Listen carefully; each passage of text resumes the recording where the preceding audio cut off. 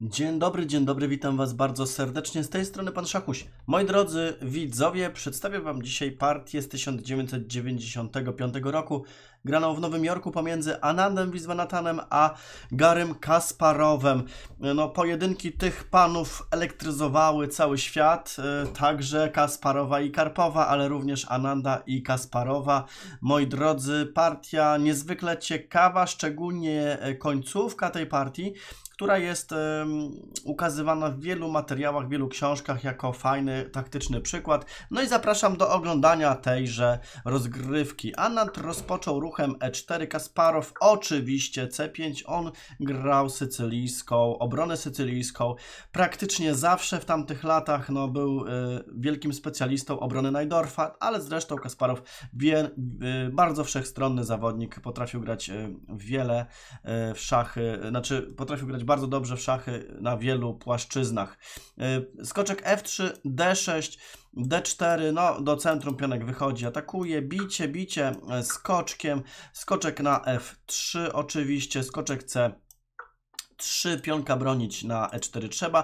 No i Kasparow ma tutaj do wyboru kilka opcji. Oczywiście można zagrać e, A6, czyli e, wariant Najdorfa, można zagrać skoczek C6, można zagrać E6, można G6. No tutaj Kasparow wybiera właśnie to posunięcie G6, żeby ustawić tutaj gońca na G7 i e, ustawić takie struktury drakońskie. E, goniec E3 ze strony Ananda, goniec G7, normalna sprawa i posunięcie F3. E, ruch e, oczywiście bardziej dla początkujących wytłumaczę dobry, normalny, bo tutaj bronimy e, pionka na E4, a przede wszystkim też nie pozwalamy skoczkowi wejść na G4 i zaatakować tego potwornie silnego gońca E3, który się się bardzo często przydaje w tego typu tutaj atakach na H6. Roszada ze strony Kasparowa i Hetman D2. Widzimy, że tutaj e, Anand prawdopodobnie będzie szykował długą roszadę. No Hetman D2 z gońcem też się fajnie układają, fajnie tutaj współpracują i planują w przyszłości zagranie na H6, żeby króla czarnego atakować. No dobra, mamy tutaj e, obronę e, Drakona, tak to się chyba nazywa. E, strukturę drakońską, wariant smoczy, no zwał jak zwał, w każdym razie e, skoczek na C3 zagrał tutaj Kasparow, czyli ruch teoretyczny, e, wyprowadzamy oczywiście figurę, goniec C4, Fischer grywał goniec na C4 bardzo często, a potem cofał go na B3, E, goniec na D7, normalna sprawa i tutaj e, nastąpiła roszada. No i moi drodzy, teraz trzeba się zastanowić, jaki będziemy mieli plan e, gry dla czarnych, plan gry dla białych, bo widzimy obustronne roszady, znaczy się roszady wykonane i ze strony czarnych i białych, tylko że białe zrobiły długą i plan białych jest taki, żeby atakować króla z tej strony, czyli na skrzydle królewskim, no a czarne w odwecie muszą próbować atakować przeciwnika na skrzydle hetmańskim. No, plan ogólny y, jest prosty,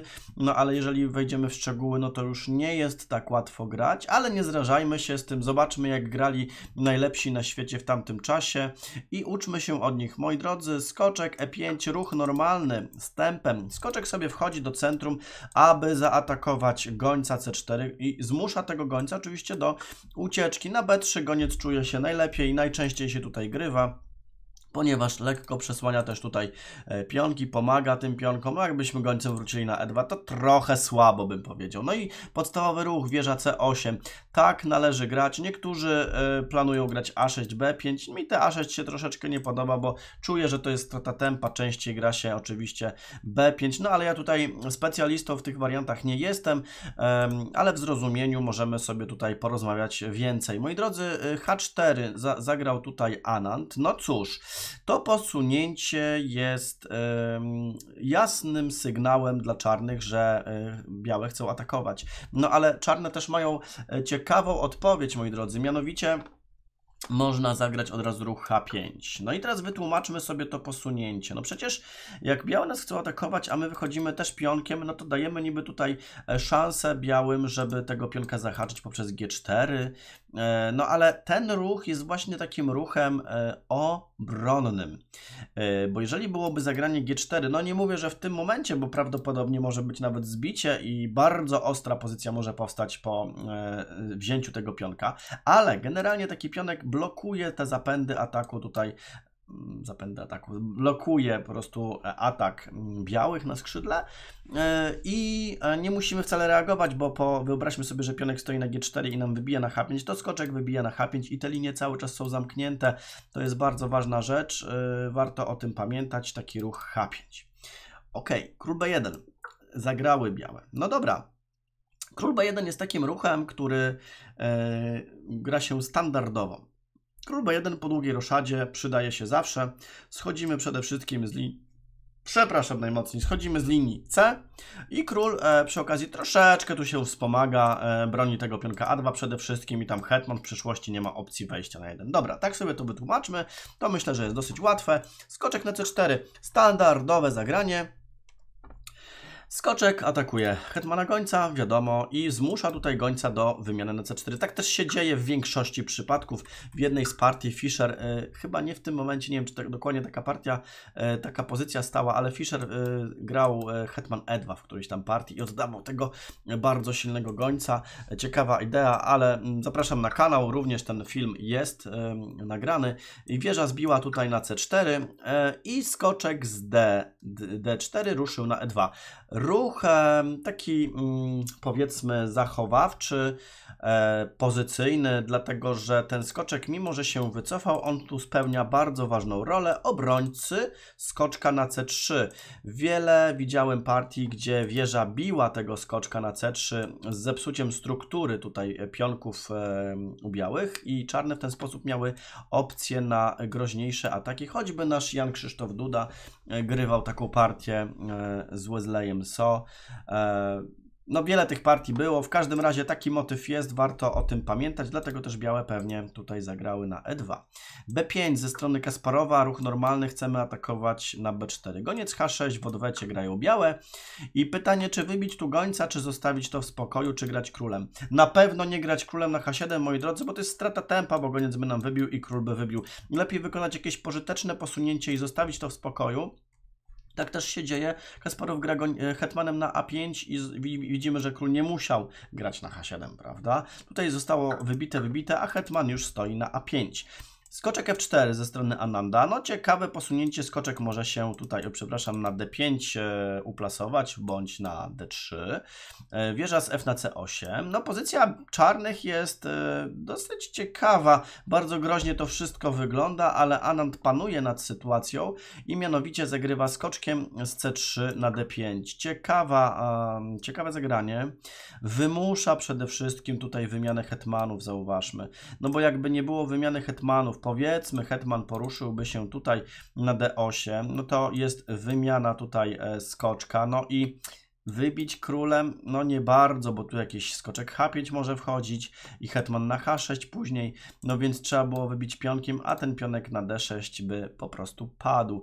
E, no i w tym momencie hetman wybił na d2, nie było wyjścia, wieża wybiła na d2, co nie oznacza, że nie można próbować grać, wygrywać jednym i drugim kolorem.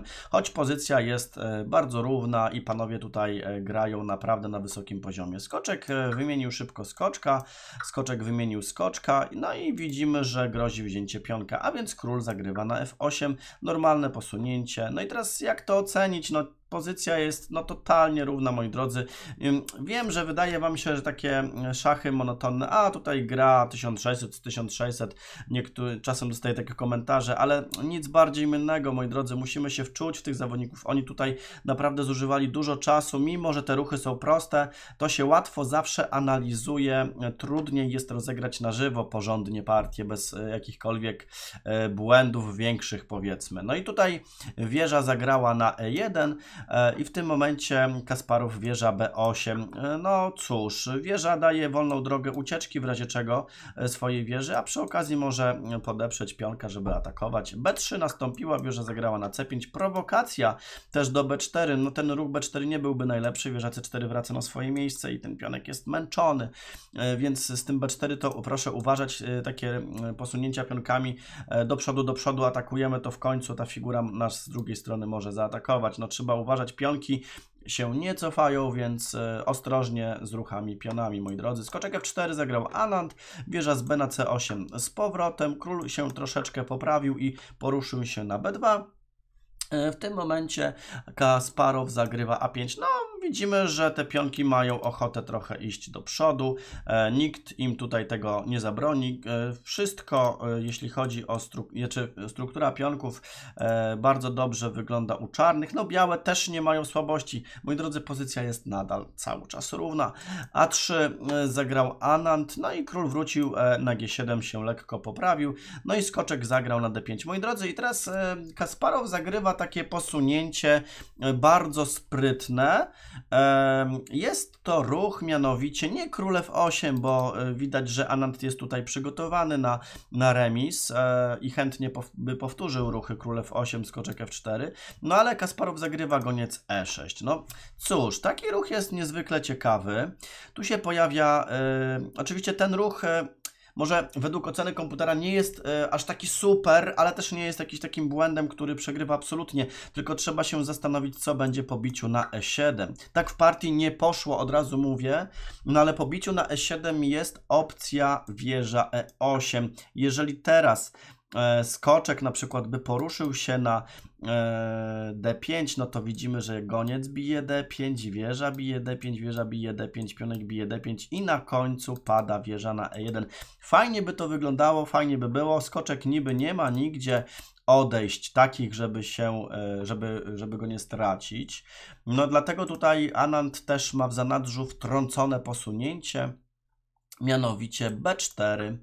Oczywiście można było zagrać najpierw skoczkiem po wybiciu gońcem, również B4 wchodziło, ale teraz też można zagrać w ten sposób. Wybicie, wybicie by nastąpiło prawdopodobnie, wieża C4, skoczek by wrócił na D7, to jest na D5, to jest wszystko to samo, jakby skoczek najpierw yy, wrócił na D5, a potem B4.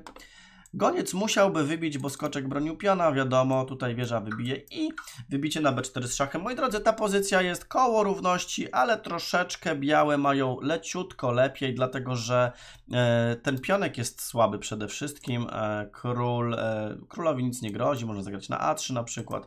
E, tu wszystko, e, wszystko działa, że tak powiem, no ale myślę, że Kasparow tej partii by no nie przegrał. Zaryzykował, po prostu szukał opcji na wygraną. No i w tym momencie właśnie Anand tego pionka nie zbił, a powinien raczej. E, I zagrał właśnie ten ruch B4, który jest ruchem e, wtrąconym. No dobrze, moi drodzy, niestety to posunięcie do najlepszych już nie należy. Nie należy do najlepszych, dlatego że tutaj po prostu trzeba wybić. E, na razie w ten sposób to powiem. No i pionek wybija. No jakby wybił skoczek, no to te dwa pionki są rozdzielone i troszeczkę słabe, więc nic się nie dzieje. E, AB. No i teraz zauważmy, co mają zrobić czarne. Jeśli zagram wieżą na C4, to skoczek B6 z widełkami. Jeśli zagram wieżą na C6, to skoczek E7 z widełkami i białe e, łatwo wygrywają. Ale czy tak naprawdę się dzieje? Otóż nie. Moi drodzy, Kasparow doskonale to przeliczył i tutaj tajemnica polega na tym, że Kasparow policzył wariant troszeczkę dalej od przeciwnika. Inaczej, Anand prawdopodobnie przeoczył e, pewną odpowiedź czarnych w tym wariancie. No i Kasparow zagrał wieża C4. No i tutaj e, jeszcze by nic wielkiego się nie działo, jakby białe zagrały C3, obroniły pionka, ale po wymianie tutaj ta struktura jest ciutkę gorsza, wtedy u białych król podchodzi pod F6 i szanse czarne mają na zwycięstwo, no minimalne, ale mają, myślę, że byłaby szansa w każdym razie. E, tutaj skoczek B6 nastąpiło, E, z szachem, ja to tak często mówię, dla dwóch wieżyczek. Są widełki, moi drodzy. Anand na to poszedł świadomie, ale to jest już ruch, który przegrywa. I spróbujmy znaleźć e, odpowiedź, dlaczego ten ruch przegrywa w tej pozycji. No mianowicie, e, można sobie oczywiście zatrzymać czas, ja już pokazuję rozwiązanie, moi drodzy. Wieża bije na b4 z szachem, król zagrywa na a3 oczywiście, bo jakby zagrał król gdzieś w tą stronę, no to wieża zdąży uciec, prawda? Ale król gra a3 i widzimy, dwie wieże są podbiciem. No właśnie, na tym polega problem albo i zaleta czarnych. E, Anand tą pozycję widział, ale nie przewidział posunięcia Kasparowa. No i teraz, moi drodzy, e, zadanie dla Was. Spróbujcie znaleźć rozwiązanie w tej sytuacji. Czarne zaczynają i wygrywają. Po jednym ruchu, moi drodzy, Anand się poddał. Na tym poziomie jest to sprawa zrozumiała. E, ja już pokazuję rozwiązanie. Uwaga, wieża z C8 zbija na C2. O co w ogóle chodzi? Przecież wieża podbiciem, a podstawiam drugą wieżę podbiciem. Coś tu jest nie halo. Otóż, jeżeli tutaj król by zbił wieżę, no to wieża zbije na d2. Sprawa oczywista. Na razie są dwa pionki więcej i ten jeszcze jest do zbicia, więc czarne na tym poziomie są w stanie wygrać bez problemu. No ale co będzie, jeżeli wieża zbije na c2, a ta jest podbiciem? No właśnie. Na szczęście dla czarnych jest fantastyczne posunięcie. Wieża b3, król nie może do góry, w naszym wypadku do dołu, tylko musi zagrać na A2 i mamy piękne odejście wieża E3 z szachem. Tutaj król by mógł zagrać na B2, wieża mogłaby wybić na E1 i widzimy dwa pionki więcej tutaj u czarnych. Goniec lepszy od skoczka zdecydowanie, zagradza tutaj skoczkowi e, przede wszystkim te pola. Skoczek nie ma opcji e, jakiejś aktywnej gry. No i w tej dokładnie pozycji jak Kasparow zbił na C2, Anand poddał partię.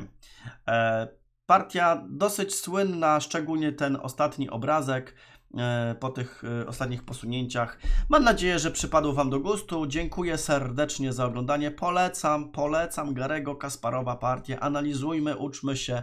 Pozdrawiam serdecznie, cześć.